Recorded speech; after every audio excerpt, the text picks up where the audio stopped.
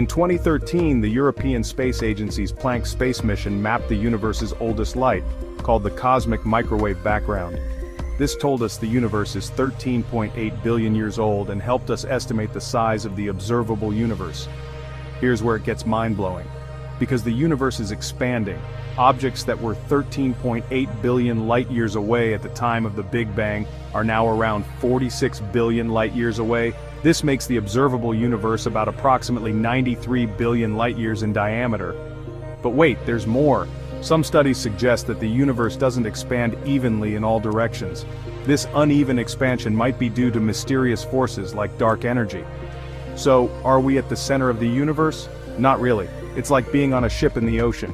Just because you can't see land doesn't mean you're in the center. Scientists use various methods to measure the universe's size, like studying waves from the early universe or using supernovae as cosmic yardsticks.